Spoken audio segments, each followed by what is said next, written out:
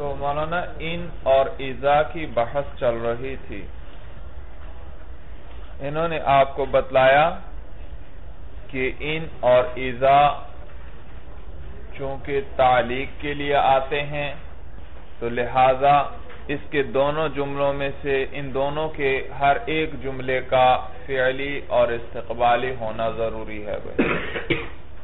یعنی ان بھی دو جملوں پر داخل ہوتا ہے، شرط اور جزا پر۔ اسی طرح ایزا بھی شرط اور جزا پر۔ تو ان دونوں میں سے ہر ایک کے دونوں دونوں جملے بھائی، شرط بھی ایزا کی بھی شرط اور جزا، ان کی بھی شرط اور جزا۔ ان کا فعلیہ ہونا بھی ضروری دونوں جملوں کا اور استقبالیہ ہونا بھی ضروری ہے۔ تو دونوں فعلیہ ہوں گے، اسمیہ نہیں ہوں گے۔ اور دونوں استقبالیہ جملے ہوں گے مولانا مزارے کے سیغے آئیں گے بھائی، ماضی کے سیغے نہیں آئیں۔ لیکن کبھی کبھار اس کی مخالفت کی جاتی ہے کسی نقطے کی وجہ سے۔ اور وہ ایک نقطہ انہوں نے آپ کو بتلایا تھا، کیا؟ کہ ابراز غیر الحاصلی فی مارز الحاصلی۔ کہ غیر حاصل کو کس کے درجے میں دکھلانا مقصود ہوتا ہے؟ حاصل کے درجے میں۔ ایک چیز حاصل نہیں، لیکن اس کو حاصل کے درجے میں دکھایا جاتا ہے، ظاہر کیا جاتا ہے۔ اور اس وجہ سے مزارے کے بجائے کون سا سیغہ لے آتے ہیں؟ ماضی کا ماضی کا سیغہ کیونکہ حاصل کس زمانے میں ہوگی چیز بھائی؟ جو حاصل ہو چکی ہے وہ کب ہے؟ ماضی میں۔ تو ان وغیرہ کے ساتھ آنا تو مزارے چاہیے، لیکن کبھی کبھار کیا کرتے ہیں؟ ماضی لے آتے ہیں۔ کس لیے لے کر آتے ہیں؟ ایک غیر حاصل چیز کو کس کے درجے میں دکھلانا ہے؟ حاصل چیز کے درجے میں دکھلانا ہے۔ یہ ایک نقطہ ہے۔ کس چیز کا نقطہ ہے بھائی؟ آپ جملہ کون سا لانا چاہیے تھا ان وغیرہ کے ساتھ؟ مزارے کا۔ اور لائے کون سا؟ ماضی کا۔ تو یہ آپ نے عدول کیا۔ اور اس کے لیے نقطہ کیا بتلایا انہوں نے؟ غیر حاصل کو کس کے درجے میں دکھا رہے ہیں؟ حاصل کے درجے میں۔ اب یہ غیر حاصل کو حاصل کے درجے میں کیوں دکھاتے ہیں؟ اس کی چار وجہیں انہوں نے بیان کی غیر حاصل کو حاصل کے درجے میں آپ اس لیے دکھلاتے ہیں کیونکہ اسباب بڑے قوی ہوتے ہیں تو اس چیز اس چیز کے اسباب بڑے قوی ہیں۔ ایک وجہ یہ۔ جیسے انہوں نے مثال ذکر کی تھی اشتراکی انشترائینا ماضی کا سیغہ استعمال کیا۔ حالانکہ کیا ہونا چاہیے تھا؟ ان ان نشتری ہونا چاہیے تھا۔ لیکن اسباب شراء کے سارے موجود ہیں۔ چیز بھی موجود ہے، آپ کے پاس سامان خریدنے کے لیے رقم بھی موجود ہے، اسباب سارے موجود ہیں۔ تو اس وجہ سے قوت اسباب کی وجہ سے اب آپ نے کیا کہہ دیا؟ انشترائینا تو غیر حاصل کو حاصل کے درجے میں دکھایا کس لیے کہ اسباب بڑے قوی ہیں۔ یا اس لیے ایسا غیر حاصل کو حاصل کے درجے میں اس لیے دکھایا جاتا ہے کہ وہ چیز اس کا وقوع بڑا یقینی ہوتا ہے۔ جب اس کا ہونا نہایت یقینی ہے تو ہم اس کو کس کے درجے میں اتار لیتے ہیں؟ گویا کہ حاصل ہی ہے۔ تو غیر حاصل کو کس کے درجے میں اتار لیا؟ اور مظاہرے کے بجائے کون سا سیغہ لیا ہے ماضی کا۔ دو وجہ تیسری وجہ تفاعل کے طور پر کہ غیر حاصل کو آپ نے حاصل کے درجے میں دکھایا کس وجہ سے؟ نکفالی کے طور پر مخاطب ایک چیز کو پسند کرتا ہے تو آپ نے نکفالی کے طور پر اس کو کیا کیا؟ حاصل کے درجے میں دکھلایا کہ اس سے مخاطب کو خوشی حاصل ہوگی۔ مثلا مخاطب کیا چاہتا ہے کہ مجھے آخرت میں کیا حاصل ہو؟ کامیابی حاصل ہو۔ تو آپ نے کیا کہا؟ ان ظفر تھا حالانکہ کہنا کیا چاہیے تھا ظفر تو ماضی کا سیغہ ہے اور آخرت تو ابھی آنے والی ہے۔ آپ نے کیا استعمال کی؟ کہنا کیا چاہیے تھا آپ کو؟ ان کہنا چاہیے تھا۔ اگر تم کامیاب ہوئے تو یہی مقصد ہے، یہی مطلوب ہے۔ لیکن آپ نے تظفر کے بجائے کون سا سیغہ استعمال کیا؟ ماضی کا سیغہ استعمال کیا۔ کس لیے؟ نیکفالی کے طور پر کہ آپ نے اس غیر حاصل چیز کو کس کے درجے میں اتار لیا؟ حاصل چیز کے درجے میں اتار لیا۔ مخاطب خوش ہوگا بھائی، جو ایک چیز مطلوب ہے، آپ نے پہلے اس کے سامنے کس کے درجے میں اتار لی؟ گویا کہ حاصل ہو چکی۔ اور اظہار رغبتی۔ یہ چوتھی وجہ ہے غیر حاصل کو کس چیز کے درجے میں اتارتے ہیں؟ کس وجہ سے؟ اظہار رغبت کی وجہ سے یعنی متکلم اپنی رغبت ظاہر کرنا چاہتا ہے کہ یہ چیز مجھے بڑی مرغوب ہے۔ تو کیا کہتا ہے؟ ان ظفر تو بحسن العاقبتی فہو المرام۔ تو کیا اصل میں کیا کلام ہونا چاہیے تھا؟ ان ظفر تو بھئی یہ تو ماضی ہے مزارے کیا؟ ان ان ظفر بحسن المعاقبتی کیونکہ مستقبل ہے، مستقبل کے لیے مزارے کا سیغہ ہونا چاہیے، لیکن ماضی کا سیغہ استعمال کیا۔ کس لیے؟ اظہار رغبت کے لیے۔ غیر حاصل چیز کو حاصل کے درجے میں اتار لیا۔ رغبت کی وجہ سے متقلم بتلانا چاہتا ہے کہ آخرت کی کامیابی مجھے بڑی مرغوب ہے۔ تو یہ چار وجہیں ذکر ہوئی بھئی غیر حاصل چیز کو کس کے درجے میں اتارتے ہیں؟ حاصل چیز کے درجے میں اول کس وجہ سے قوت اسباب کی وجہ سے، ثانی کس وجہ سے؟ اس کے وقوع یقینی ہونے کی وجہ سے۔ ثالث کس وجہ سے؟ تفاعل اور چوتھی وجہ؟ اظہار رغبت۔ کی وجہ سے۔ تو اس اظہار رغبت کے اندر بھئی اظہار رغبت کے طور پر کیسے بھئی غیر حاصل کو آپ حاصل کے درجے میں اتارتے ہیں۔ اس کی مصنف نے پھر تشریح کی تھی اور بتلایا تھا کہ جب کوئی چیز کسی چیز کا جو طالب ہوتا ہے اس کے دل میں رغبت جب بڑھ جاتی ہے کسی چیز کی تو اکثر اس کا تصور رہتا ہے اسے اور کئی مرتبہ اسے یہ خیال گمان گزرتا ہے گویا کہ وہ چیز اسے حاصل ہو ہی چکی ہے۔ ایک چیز ہے بھائی اس کے لیے انسان کو بہت زیادہ اس کی طلب ہے تو کیا ہوگا؟ اس کا اکثر و بیشتر اس کے ذہن پر اس کا خیال اور تصور رہے گا تو وہ گویا اس کو حاصل ہے۔ بعض اوقات ایسی متخیل ہو جاتی ہے وہ اپنی رغبت بتلانے کے لیے کیا کرتا ہے اس کو کس کے درجے میں اتار لیتا ہے؟ وعليه أي على استعمال الماضي مع إن لإظهار الرغبة في الوقوع ورد قوله تعالى اور اسی پر وارد ہوا ہے اللہ کا یہ قول ان ارادنا تحسنا وعلیہ ان ارادنا تحسنا اور اسی پر وارد ہوا ہے اللہ کا یہ قول ان ارادنا تحسنا بھئی کس پر وارد ہے؟ علامہ تفتزانی نے آپ کو بتلایا بھئی ای علی استعمال الماضی معین۔ کہ یہاں پر بھی کیا کیا گیا ہے؟ ان کو کس کے ساتھ استعمال کیا گیا ہے؟ اور کس لیے اظہار رغبت فی الوقوع؟ کی یہاں بھی رغبت کا اظہار ہے وقوع کے اندر۔ تو جیسے اوپر والی مثال میں تھا کہ غیر حاصل چیز کو حاصل چیز کے درجے میں اتارتے ہیں، کس وجہ سے؟ رغبت کا اظہار کرنا مقصود ہوتا ہے، رغبت بتلانی مقصود ہوتی ہے۔ اسی پر اللہ کا یہ قول بھی ہے، ان ارادنا تحسنن یہاں پر بھی ان کے ساتھ کس کو لے کر آئے؟ ماضی کا صیغہ ذکر کیا گیا۔ یہ بتلانے کے لیے کہ یہ تحسن بڑا مرغوب ہے۔ یہ تحسن اور عفت کیا ہے؟ بڑا، بڑی مرغوب چیز۔ وعلیہ ای علی استعمال الماضی معین اور اسی پر یعنی کہ استعمال ماضی کس کے ساتھ؟ ان کے ساتھ ہو۔ اظہار رغبتی اور یہ کس لیے ہو بھئی ماضی کے استعمال ان کے ساتھ؟ اظہار رغبت کے لیے کسی چیز کے وقوع میں۔ اسی پر وارد ہوا ہے قولہ تعالی، اللہ کا یہ قول بھی، وَلَا تُكْرِهُ فَتَيَاتِكُمْ عَلَى الْبِغَائِ اور تم مجبور نہ کرو اپنی باندیوں کو۔ علی البغائی زنا پر۔ ان اردنا تحسنا۔ اگر وہ ارادہ کریں پاک دامنی کا اور عفت کا۔ قرآن میں کیا آیا ہے بھائی؟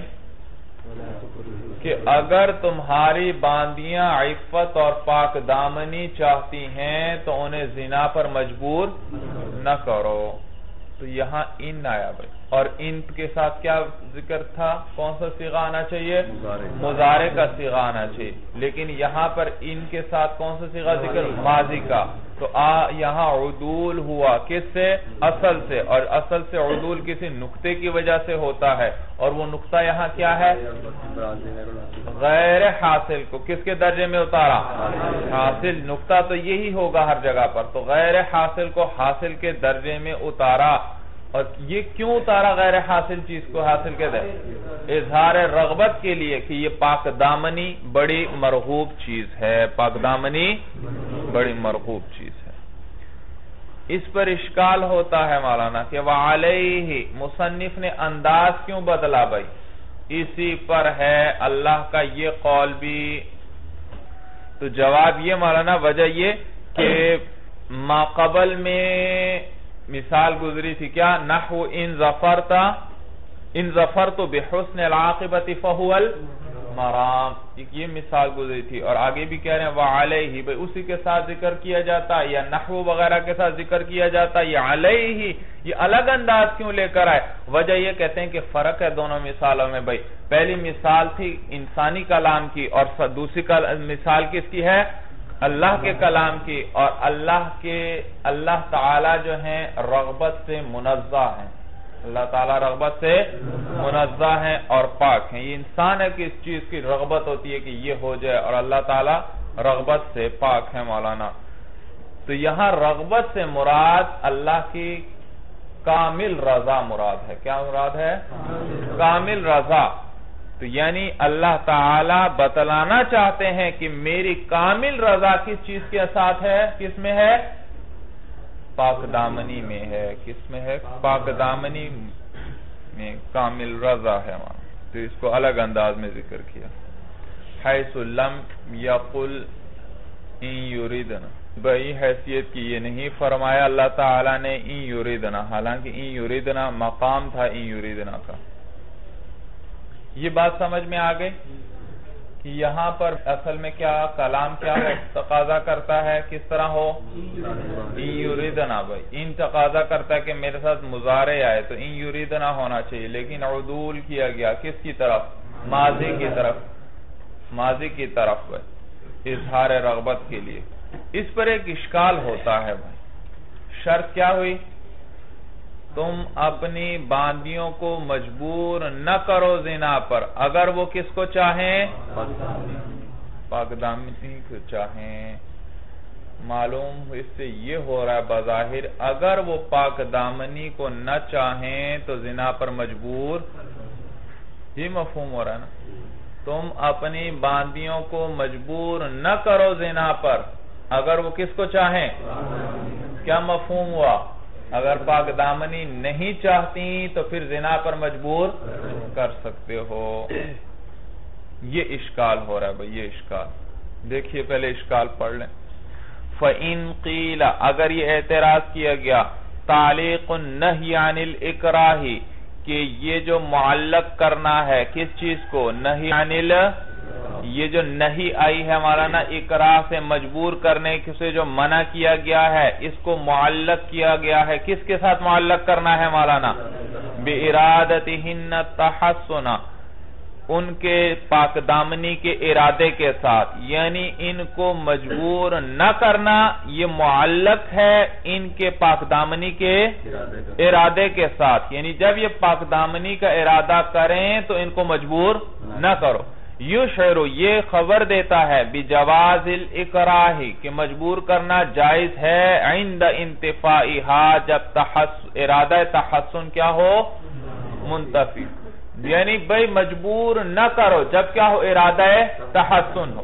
اور جب ارادہ تحسن نہ ہو، تو پھر مجبور کرنا جائز ہے۔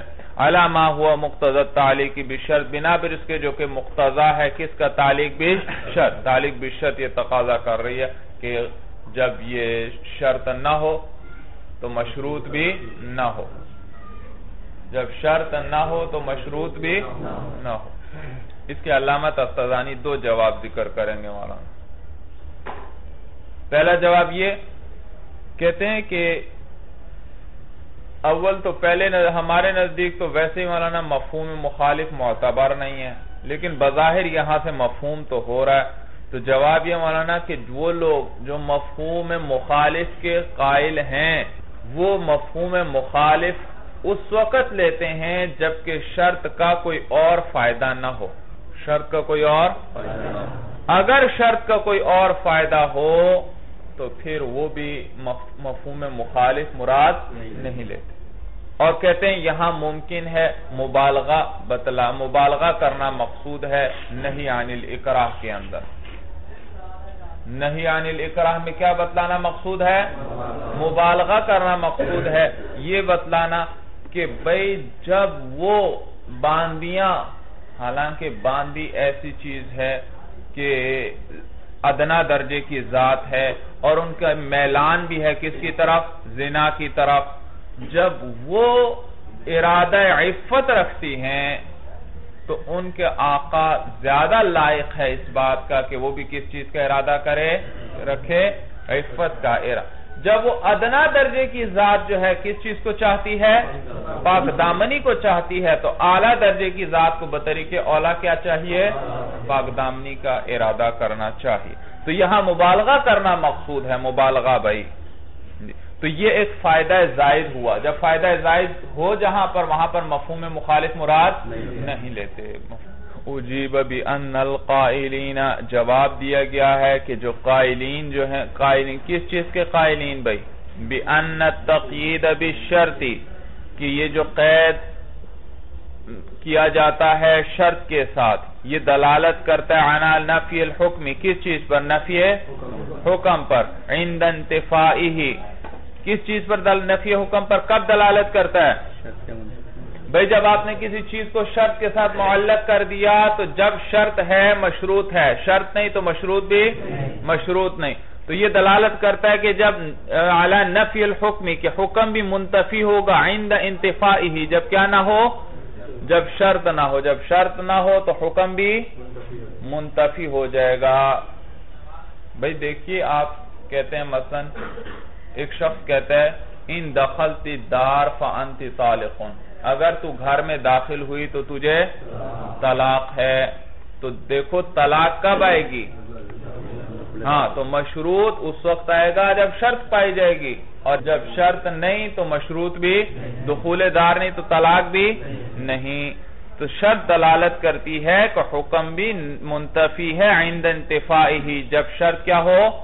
جب شرط منتفی ہے تو حکم بھی منتفی ہوگا. تو یہ وہ جو یہ کہنے والے ہیں کہ تقیید بھی شرط دلالت کرتی ہے نفی حکم پر انتفاع.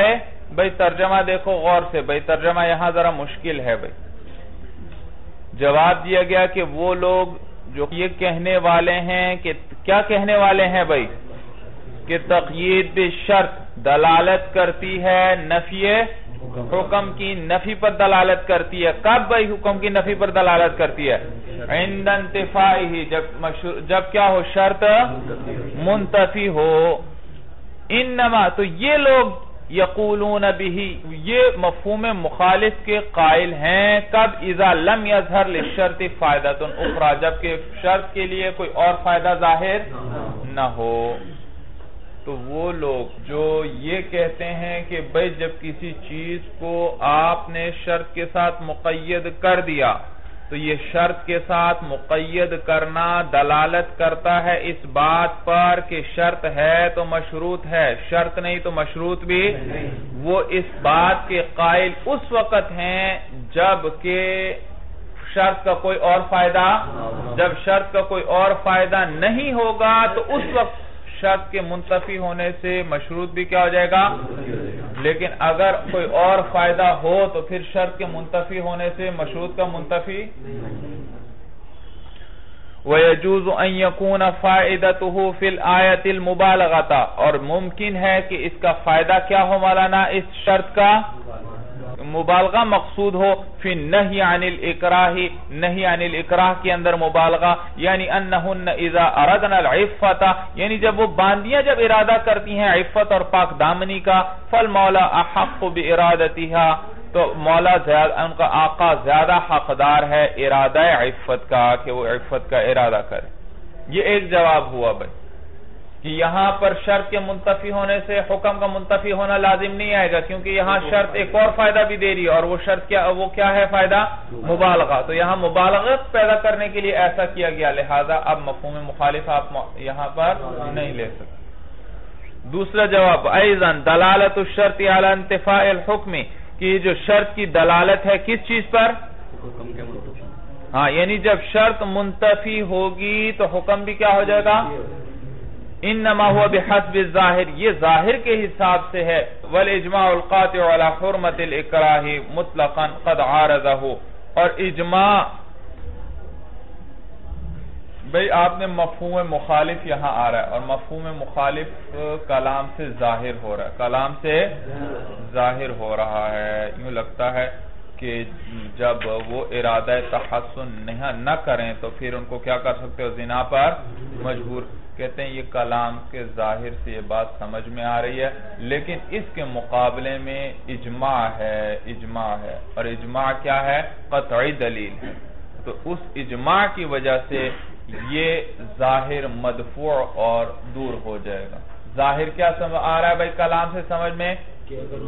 اگر وہ پاک دامنی کا ارادہ نہیں کرتی تو پھر ان کو زنا پر مجبور کر سکتے یہ ہے ظاہر۔ اور اجماع قطعی ہے مولانا۔ اجماع کیا کہتا ہے مولانا؟ کہ کسی صورت میں بھی ان کو مجبور نہیں کر سکتے۔ تو اجماع اس ظاہر کے مقابلے میں آ گیا۔ تو اجماع کی وجہ سے اب یہ ظاہر کیا ہوا؟ ختم ہو گیا۔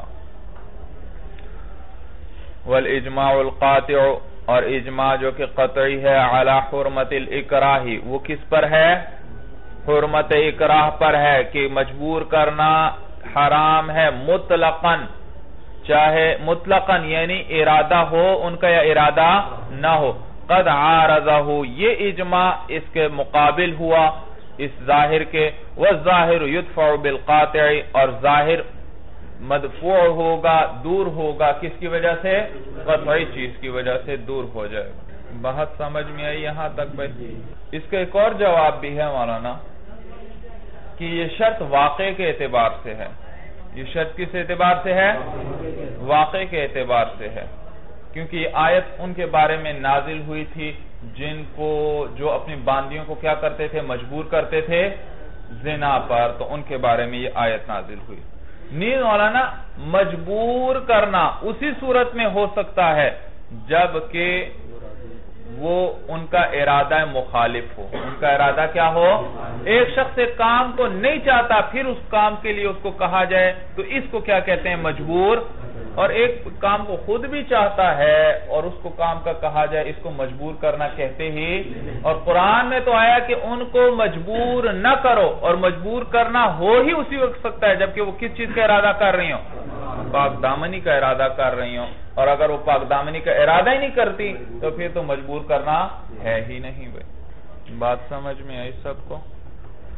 قال سکاکی اول تعریضی علامہ سکاکی فرماتے ہیں، یا تعریض کے لیے، یا تعریض کے لیے۔ بھئی انہوں نے بتلایا کہ ان کے ساتھ فیل مزارے آنا چاہیے، لیکن ہم کبھی کبھار کیا کرتے ہیں؟ ماضی لے آتے ہیں۔ اس صرف ایک نقطے کی وجہ سے، اور وہ نقطہ کیا ہے؟ غیر حاصل کو حاصل کے درجے میں بتلانا ہے۔ اور یہ حاصل کے درجے میں کیوں بتلانا چاہتے ہیں؟ اس کی کتنی وجہ ذکر ہوئی تھی چار وجہ ذکر ہوئی تھی اب پانچویں وجہ بھی اس کی ذکر کر رہے ہیں۔ پانچویں وجہ کہ غیر حاصل کو حاصل کے درجے میں کیوں اتارتے ہیں؟ علامہ سکاکی فرماتے ہیں لتعریض تعریض کی وجہ سے۔ کس کی وجہ سے؟ جی۔ ای ابراز غیر الحاصل فی معرض الحاصل ظاہر کرنا غیر حاصل کو حاصل چیز کے درجے میں اما لما ذکرہ یا تو اس وجہ سے ہوا جو مذکور ہوئی۔ یعنی وہ جو چار چیزیں تھیں ان کی وجہ سے ہوگا غیر حاصل کو حاصل کے درجے میں اتارنا۔ وہ اما لتعریض یا کس وجہ سے ہوگا؟ تعریض کی وجہ سے آپ غیر حاصل کو حاصل کے درجے میں اتاریں گے۔ تعریف کس کو کہتے ہیں بھائی؟ کہتے ہیں بھی این سب الفعل الى احد والمراد غیرہ کہ فعل کی نسبت ایک کی طرف کی جائے اور مراد کیا ہو؟ بھئی آپ اپنے ساتھی کو ایک کلام کہتے ہیں، لیکن مقصود وہ نہیں ہے۔ سنانا آپ ایک تیسرے کو چاہتے ہیں۔ اس کو کیا کہتے ہیں؟ تعریف کہتے ہیں، تعریف کہتے ہیں۔ بات سمجھ میں؟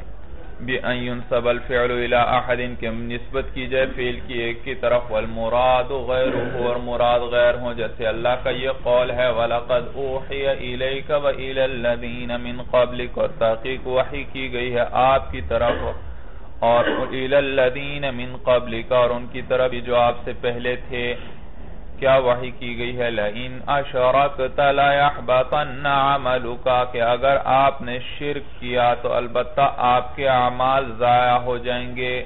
آپ کا عمل کیا ہوگا؟ ضائع ہو جائے گا۔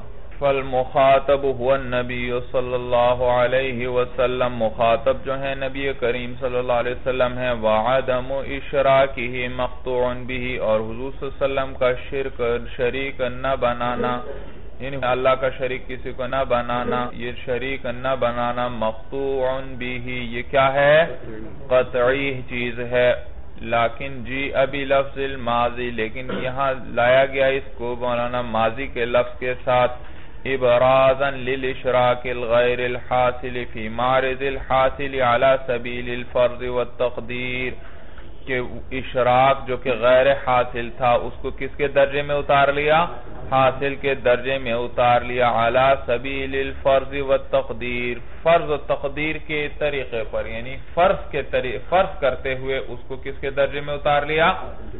حاصل کے درجے میں اتار لیا۔ تعریضا اشارہ کرتے ہوئے لمن صدر عنہم الاشراق، کہ جن سے کس چیز کا صدور ہوا ہے؟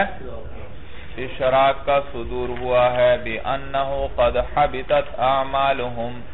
بھئی صورت کے ان کے اعمال کیا ہوئے؟ ضائع ہوئے۔ اچھا مولانا علامہ سکاکی فرماتے ہیں کہ کبھی کبھار ان کے ساتھ ماضی کا صیغہ لاتے ہیں، غیر حاصل کو حاصل کے درجے میں اتارتے ہیں۔ کس وجہ سے؟ تعریض کے لیے کہ ایک بات، ایک فیل کی نسبت ایک کی طرف ہوتی ہے اور سنانا دوسرے کو، جیسے اس آیت کے اندر لئن اشرکتا میں ان کے ساتھ کیا ذکر کیا گیا؟ ماضی کو ذکر کیا گیا اور یہ ایسا کس لیے کیا گیا؟ تعریض کے لیے اشارہ کرنا مقصود ہے کس کی طرف؟ وہ کفار جنہوں نے شرک کیا، جو شرک کرنے والے ہیں، ان کی طرف اشارہ مقصود ہے بھائی۔ تو مخاطب نبی کریم صلی اللہ علیہ وسلم ہے اور حضور صلی اللہ علیہ وسلم کی ذات سے شرک کا صدور نہیں ہوا، کبھی بھی نہیں ہوا۔ اس کے باوجود ان کی طرف نسبت کرتے ہوئے کیا کیا کہا گیا؟ لَإِنْ أَشْرَقْتَ اگر آپ نے شرک کیا، آپ کے اعمال کیا ہو جائیں گے؟ ضائع ہو جائیں گے۔ تو اس کی تعریض ایسا کس لیے کیا گیا؟ ایک تو اس میں بتلایا یہ گیا مولانا کہ دو فائدے ہوئے، بھائی دو فائدے ہوئے۔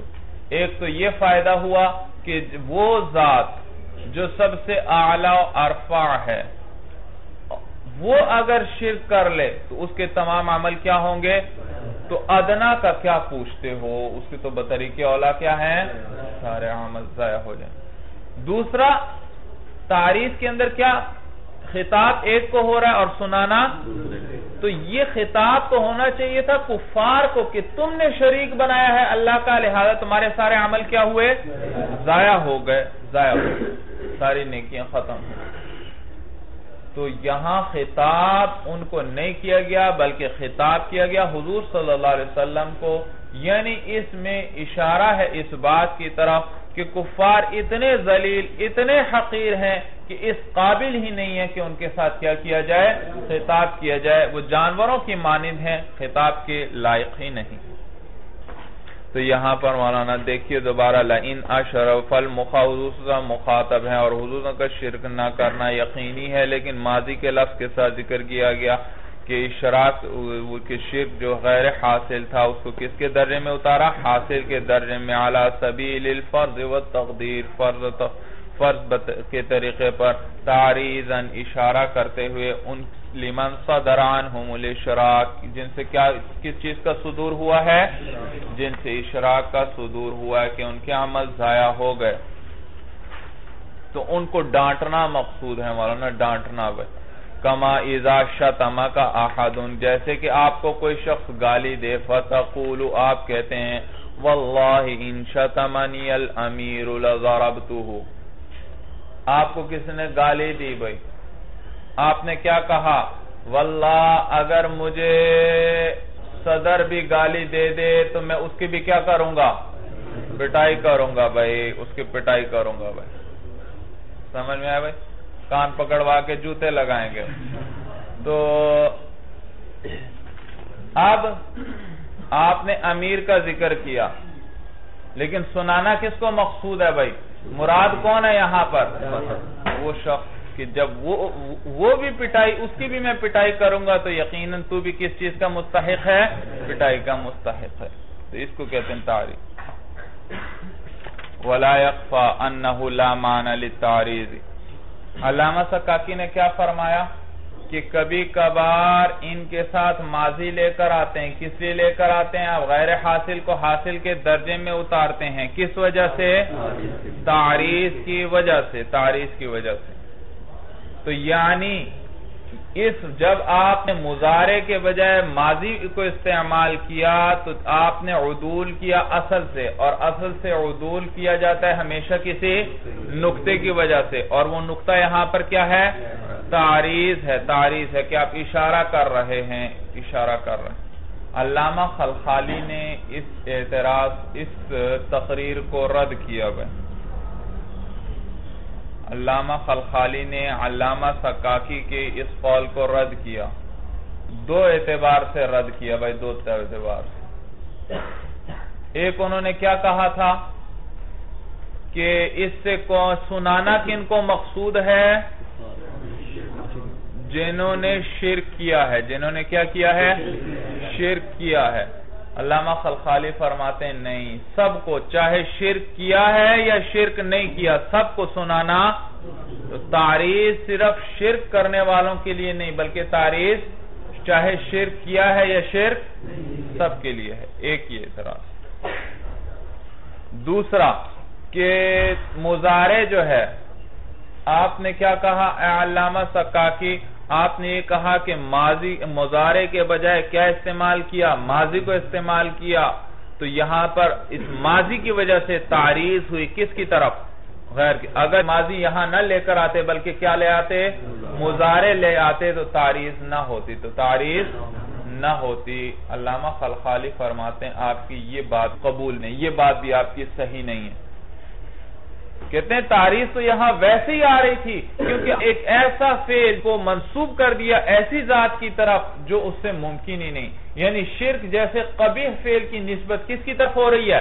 حضور صلی اللہ علیہ وسلم کی طرف۔ اور حضور صلی اللہ علیہ وسلم کی ذات سے شرک کا صدور ہو جائے، یہ محال ہے۔ یہ کیا ہے؟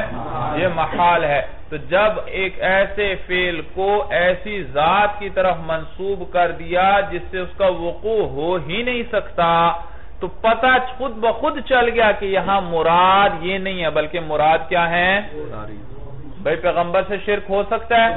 اور پھر کہا جائے ان اشرکتا، معلوم ہوا اور آپ سے تو شرک ہو نہیں سکتا، معلوم ہوا یہ ان اشرکتا کے ذریعے کس کو سنانا مقصود ہے؟ غیر کو سنانا مقصود ہے۔ تو چاہے ماضی نہ بھی جلاتے مزارے بھی رہتا پھر بھی ایک فیل ایسا فیل جو قبی ہے اور اس کی نسبت آ رہی ہے حضور صلی اللہ علیہ وسلم کی طرف اور یہ محال ہے جب یہ محال ہے تو معلوم ہو حضور صلی اللہ علیہ وسلم مراد نہیں ہے بلکہ غیر کو سنانا مقصود ہے۔ تو تاریخ پھر بھی آ جاتی۔ اعتراض سمجھ میں آیا بھائی؟ کس طریقے سے دو طریقے سے رد کیا؟ ایک آپ نے کیا کہا تاریخ صرف کس کو ہے؟ صرف مشرک شرک کرنے والوں کو تاریخ ہے۔ علامہ خلخالی کیا فرماتے ہیں؟ سب کو سب کو ہے بھائی، سب کو سنانا مقصود۔ اور دوسرا، آپ نے کیا کہا؟ ماضی کو لے کر اس لیے تاریخ ہے۔ بھائی، ہم کہتے ہیں ماضی نہ بھی ہوتی، یہاں پر کیا ہوتا؟ مزارے ہوتا۔ پھر بھی کیا تھی؟ تاریخ پھر بھی تھی تاریخ پھر جواب اس کے دے رہے ہیں والانا علامہ تفتازانی جواب دیں گے بھائی۔ ولا یقفا اور یہ بات مخفی نہیں ہے۔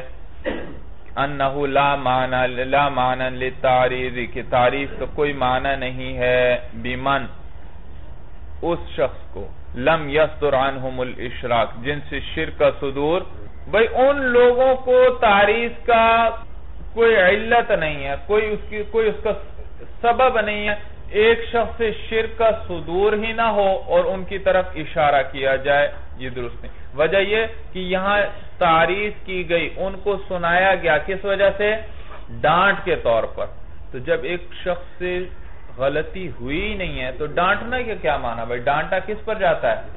جس سے غلطی ہو جائے۔ جس سے غلطی ہو چکی ہو، اس کو ڈانٹا جاتا ہے بھائی۔ پہلے سے اس، جس سے غلطی کے امکان ہو، اس کو پہلے سے ہی ڈانٹ دیا جائے۔ ایسا نہیں ہوتا بھائی، ایسا نہیں ہوتا۔ جیسے وہ ایک استاد تھا، تو پانی منگوایا بھائی، شاگرد سے پانی لے کر آؤ بھائی، ایک گلاس میں۔ شیشے کا گلاس تھا، اس کو پکڑایا جب پانی لیا ساتھ ہی تین چار تھپڑ بھی لگا دیا اس نے کہا، بھائی، یہ کیا کیا آپ نے تھپڑ کیوں لگایا؟ کہتے ہیں کہ بھائی یہ نہ ہو کہیں راستے میں جائے اور گلاس گرا دے اور گلاس کو توڑ نہ دے، شیشے کا گلاس۔ کہتے ہیں بھائی توڑتا تو پھر بعد میں پٹائی کی جاتی ہے پہلے سے ہی پٹائی کر رہے ہیں۔ کہتے ہیں بعد میں مارنے کا کیا فائدہ؟ تو ہمیشہ غلطی کے بعد کیا کیا جاتا ہے؟ ڈانٹ ڈپٹ غلطی کے بعد ہوتی ہے غلطی سے پہلے نہیں۔ اور یہاں پر جب ایک شخص سے شرک کا صدور ہوا ہی نہیں، تو ان کی طرف تعریف اور ان کو ڈانٹ ڈپٹ کا کوئی فائدہ، کوئی سبب نہیں اس کا۔ ولا اخفانه لا معنی للتعریض بمن لم يصدر عنهم الاشراك اور بات مخفی نہیں ہے کہ کوئی معنی نہیں ہے تعریض کا ان لوگوں سے لم يصدر لم يصدر جن سے صدور نہیں ہوا شرک کا۔ وَأَنَّ ذِكْرَ الْمُزَارِعِ لَا يُفِيدُ التَّعْرِيضَ لِكَوْنِهِ عَلَى أَصْلِ۔ دوسری بات ہے، علامہ خلقالی آپ نے یہ کہی کہ مزارع کا ذکر کر دیتے پھر بھی کیا ہو جاتی؟ تعریض ہو جاتی۔ کہتے ہیں، نہیں بھائی، اگر مزارع ذکر کرتے تو پھر تعریض نہ ہو۔ کیوں؟ کیونکہ مزارع تو ہے اصل مولانا۔ ان کے ساتھ آنا ہی کیا چاہیے؟ مزارع جب ان اپنی اصل پر، جب کلام اپنی اصل پر ہے تو تعریض نہیں۔ لیکن یہاں پر جب عدول ہوا اور عدول کے لیے ہمیشہ کیا چاہیے؟ ماضی لے نکتہ چاہیے۔ اور وہ نکتہ یہاں پر کیا ہے؟ تعریض ہے۔ تو جب کلام اپنی اصل پر ہوگا تو نکتہ ہی نہیں والا اور جب اصل سے عدول کیا تو پھر کیا آئے گا؟ نکتہ آئے گا۔ اور وہ نکتہ کیا ہے؟ تعریض۔ وَأَنَّ ذِكْرَ الْمُزَارِعِ لَا يُفِيدُ التَّعْرِيزَ اور یہ کہ مزارع کا ذکر کرنا یہ تعریض کا فائدہ نہیں دیتا لِكَوْنِهِ عَلَى أَصْلِهِ، کیونکہ کس پر ہوگا کلام؟ اصل پر ہوگا۔ وَلَمَّا كَانَ فِي هَذَا الْكَلَامِ نَوْ خِفَاءٍ وَزُعْفٍ نَسَبَهُ إِلَى السَّقَاقِ اور جب تھا اس کلام کے اندر جی یہ ایک اور اشکال کا جواب دے رہے ہیں علامہ تفتادانی بھائی۔ اشکال یہ ہوتا ہے کہ یہ جو ذکر ہوئے كإبراز غير الحاصل في معرض الحاصل لقوة الاسباب او قون ما هو للوقوع او التفاول او اظهار الرغبت اور لتعریض یہ سارے علامہ سکاکی کا قول چل رہا ہے بھائی۔ یہ جو چار پانچ وجہ ذکر ہوں، یہ ساری کس کی چل رہی ہیں؟ بھائی کیا بات ہے؟ ان چار پانچ میں تو مصنف نے نہیں کہا قالا سکا کی اور آخری میں آ کر کیا کہہ دیا قالا؟ حالانکہ پچھلی چار پانچ بھی انہی کی ذکر کردہ وجوہات ہیں۔ تو جواب دیا مولانا کہ بھئی پچھلی جو تھی باتیں واضح تھیں۔ کیا تھیں؟ واضح تھیں۔ ان میں کسی قسم کی مشکل نہیں تھی۔ اور یہ بات جو تھی تعریض والی اس کے اندر کچھ خفا تھا، یہ بات پوشیدہ تھی، اور اس کے اندر ضعف بھی تھا کہ علماء اس پر کیا کر رہے ہیں؟ اعتراض کر رہے ہیں۔ اس وجہ سے اس کو منصوب کر دیا۔ کس کی طرف علامہ سقاقی نے ایسا کہا ہے؟ میں ایسا نہیں کہتا۔ علماء کان فی حاد الکلام نوع خفائن اور جب تھا اس کلام کے اندر مولانا یعنی یہ تعریض کی جو بات کی، اس میں ایک درجے کا خفا تھا وزعفن اور ایک درجے کے ذوق تھا نصبہ الى السکاکی، اس کی نسبت کر دی سکاکی کی طرف، وَإِلَّا فَهُوَ قَدْ ذَكَرَ جَمِيعَ مَا تَقَدَّمَ، ورنہ انہی نے ذکر کیا ہے اس سارے کو جو گزر چکا ہے۔ ثم قال، پھر علامہ سکاکی فرماتے ہیں وَنَزِيرُهُ اور نظیر کس کی مارانا نظیر لئن اشرکتا کی نظیر فی التعریض، کس کے اندر؟ تعریض کے اندر۔ بھئی لئن اشرکتے ان کے اندر کیا بتلایا تھا مصنف نے آپ کو کیا ہوا یہاں پر؟ تعریض ہوئی ہے۔ اور نسبت ہوئی ہے حضور صلی اللہ علیہ وسلم کی طرف۔ اور اشارہ کس کی طرف ہے؟ مشرقین اشارہ مشرقین کی طرف ہے۔ تو جیسے وہاں تعریض ہوئی، اسی طرح اللہ کے اس قول میں بھی تعریض ہے۔ وَمَا لِيَلَا عَبُدُ الَّذِي فَطَرَنِي۔ کہ مجھے کیا ہوا کہ میں نہ عبادت کروں اس ذات کی جس نے مجھے پیدا کیا۔ وَإِلَيْهِ وَإِلَيْهِ تُرْجَعُونَ بتلاتا ہے کہ یہاں وَمَا لِيَلَا عَبُدُ میں تعریض ہے۔ لا میں کون سا سیغار ہے؟ متکلم. مجھے کیا ہے؟ میں عبادت نہ کروں اس ذات کی جس نے مجھے پیدا کیا. اور آگے جا کر کیا آ رہا ہے؟ اسی کی طرف تم لوٹائے جاؤ گے. یہ آخر میں مخاطب کا سیغہ ذکر جو ہوا، یہ بتلا رہا ہے کہ ماقبل سے بھی کون مراد ہیں؟ مخاطب ہی مراد ہیں، البتہ نسبت اپنی طرف کی۔ ایو مالکم لا تعبدون. تو بات سمجھ میں آئی بھائی؟ جیسے وہاں تعریض ہوئی تھی، اسی طرح ومالی العابدو کے اندر بھی کیا ہے؟ تعریض ہے، تعریض۔ وَنَذِيرُهُ اَيْ نَذِيرُ لَئِنْ أَشْرَقْتَ لَئِنْ أَشْرَقْتَ کی نظیر ہے۔ پھر تعریض کس چیز میں مولانا صرف تعریض میں ہے۔ وہ جو ذکر ہوا تھا نا کہ ان اشرکتا میں ان آیا اور ان کے آنے کے بعد اشرکتا نہیں آنا چاہیے بلکہ کیا آنا چاہیے؟ مزارے کا سیغہ آنا چاہیے۔ کہتے ہیں یہ مراد نہیں ہے، یہ مراد صرف تعریض کے اندر اس کی نظیر ہے۔ استعمال ماضی مقام مزارے میں ہو، اس کی نظیر نہیں ہے۔ لاف استعمال الماضی مقام المزارع فی الشرطی نہ کہ ماضی کا استعمال کس کی جگہ پر؟ مزارے کی جگہ پر فی شرط شرط میں لتعریض اور کس لیے؟ تعریض کی۔ اس کی مثال نہیں ہے، صرف تعریض کی مثال ہے بس۔ اللہ کا یہ قول ہے، وَمَا لِيَ لَعْبُدُ الَّذِي فَطَرَنِي اَيْ وَمَا لَكُمْ لَا تَعْبُدُونَ۔ کیا ہوا؟ تمہیں تم عبادت نہیں کرتے، الَّذِي فَطَرَكُمْ، جس نے تمہیں پیدا کیا۔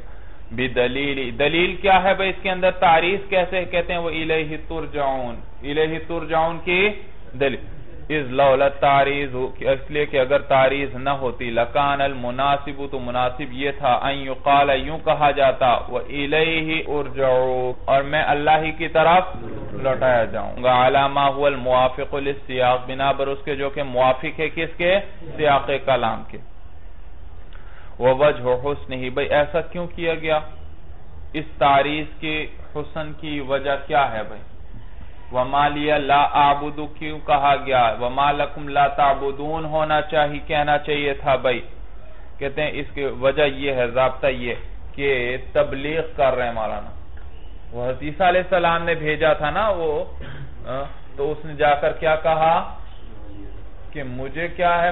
کہ میں کیوں نہ عبادت کروں اس ذات کی جس نے مجھے پیدا کیا ہے اور اسی کی طرف تم لوٹائے جا۔ تو یہ تبلیغ کر رہے ہیں۔ اور تبلیغ میں ہمیشہ کیا کیا جاتا ہے مولانا؟ برائی کی نسبت مخاطب کی طرف نہیں کی جاتی، بلکہ اپنی طرف کی جاتی ہے تاکہ وہ آپ کی بات توجہ سے سنیں اور اس پر بات اثر انداز ہو۔ اگر آپ اس کی طرف بات کو منصوب کریں گے تو وہ آپ کی بات کو توجہ سے سنے گا ہی نہیں۔ وہ وجہ حسن ہی اور وجہ حسن، اے حسن حاضر تاریزی اس تاریز کے حسن کی وجہ یہ جو ومالی اللہ آبدو ہے۔ اسماع المتکلمی سنانا ہے۔ کس کو سنانا؟ متکلم کا۔ کس کو سنانا؟ مخاطبین کو۔ بھئی اصل میں تھا اسماع المخاطبین۔ مخاطبین کو سنانا ہے۔ کیا سنانا ہے؟ الحق۔ حق بات۔ اس تعریف کے حسن کی کیا وجہ؟ اس میں حسن کیوں آیا؟ کہتے ہیں مخاطبین کو ہم نے کیا سنانا ہے؟ حق سنانا ہے۔ تو درمیان میں المتقلم نکال کر بتلا دیئے کہ اسماع مصدر ہے، اس کی اضافت ہو رہی ہے مخاطبین کی طرف، اور مخاطبین اس کے کیا ہیں؟ مفعول ہے فائل نہیں، بلکہ فائل کون ہے؟ متقلم متقلم سنانا چاہتا ہے، اور کس کو سنانا چاہتا ہے؟ مخاطب۔ کیونکہ بھئی مصدر کی اضافت کبھی فائل کی طرف ہوتی ہے اور کبھی تو یہاں بتلایا مفعول کی طرف ہے المتقلم کے ذریعے۔ سنانا ہے متقلم کا مخاطبین کو کون مخاطبین کہتے ہیں؟ الذین ہم اعداؤہ، جو کیا تھے ان کے؟ دشمن تھے۔ کیا سنانا مقصود ہے؟ حق بات، هو المفعول الثانی۔ یہ کیا ہے مفعول؟ مفعول اول کون ہے بھائی؟ مخاطب۔ سنانا ہے مخاطبین کو حق۔ تو مخاطبین مفعول اول اور حق مفعول ثانی۔ اہو المفعول الثانی للاسماع یہ مفعول ثانی ہے اسماع کے لیے علا وجہ ان کو حق سنانا ہے، ایسے طریقے پر۔ لا یزید ذالک الوجہ غضبہم، کہ نہ بڑھا دے یہ طریقہ ان کے غضب کو۔ یعنی بھی جب آپ نے غلطی کی نسبت اپنی طرف کی، تو مخاطبین کا غصہ بڑھے گا؟ نہیں پڑے وہ ہوا ایزالک الوجہ، اور وہ وجہ کیا ہے؟ مولانا ترک التصریح من نسبتہم الالباطلی ترک کرنا ہے تصریح کو۔ کس چیز کی تصریح بھئی من نسبتہم ان کی طرف کس چیز کی نسبت کی جائے؟ مخاطبین کی طرف باطل کی نسبت کی تصریح کو کیا کرنا ہے؟ چھوڑ دینا ہے۔ وَيُعِينُ اور یہ مددگار ہوتی ہے۔ کس چیز پر آگے آ رہا ہے مولانا؟ علا قبول ہی علا قبول حق اور یہ طریقہ مددگار ہوتا ہے حق قبول کرنے پر۔ وَيُعِينُ اور عَطْفٌ عَلَى لَا يَزِيدُ، اس کا عطف کس پر ہے مولانا؟ کدھر ہے لا یزیدو ہاں علا وجہ لا مخاطبین کو حق سنانا ہے علا وجہ ایسے طریقے پر کہ ان کے غضب کو نہ بڑھائے، اور ایسے طریقے پر کہ یعینو علا قبول الحق، حق قبول کرنے میں کیا ہو؟ مددگار۔ وَلَيْسَ هَذَا فِي کلام سکاکی کہتے ہیں، یہ کلام سکاکی کے میں سے نہیں ہے مولانا۔ کون سا؟ یعینو علا قبول ہی مصنف کیا فرما رہے ہیں؟ یعین علا علا وجہ یعین علی قبول۔ تو یہ سکاکی کا قول نہیں ہے مولانا۔ لیکن ان کے کلام سے مفہوم ہے۔ ان کے کلام سے کیونکہ جب ایسے طریقے سے کلام کیا جائے جس سے ان کا غصہ نہ بڑھے مخاطبین کا غصہ آپ ان کو حق پہنچا رہے ہیں ایسے طریقے سے کہ ان کا غصہ نہ بڑھے۔ جب غصہ نہیں بڑھے گا تو یقیناً یہ طریقہ معاون ہوگا کس چیز کے اندر؟ حق قبول کرنے۔ اے علا وجہ یعین علا قبولی اے علا قبول الحق، حق قبول کرنے پر لکونی ہی اے لکونی ذالک الوجہ ادخال فی امحاظ النصحی اس وجہ سے کہ یہ طریقہ جو ہے زیادہ داخل ہے اس کا زیادہ دخل ہے فی امحاظ النصح۔ کس چیز میں؟ امحاظ کہتے ہیں اخلاص کو۔ نصیحت کے اخلاص میں اس کا زیادہ دخل ہے۔ نصیحت کے حیث لا یرید المتکلم بہم الا ما یرید لنفسه بئی حیثیت کے متکلم نہیں ارادہ کرتا ان کے ساتھ بھی، مگر اسی چیز کا جو اپنے لیے ارادہ کرتا ہے۔ تو دیکھو، سنانا ان کو تھا، کہنا چاہیے تھا مالکم لا تعبدون، لیکن متقلم نے کس کی طرف نسبت کی؟ اپنی طرف نسبت کر دی۔ یہ اپنی نصیحت میں اپنے اخلاص متقلم کا اخلاص ظاہر ہو گیا کہ متقلم ان کے لیے بھی وہی چیز چاہتا ہے جو اپنے لیے چاہتا ہے مولانا۔ بس هذا هو المرام اللہ علم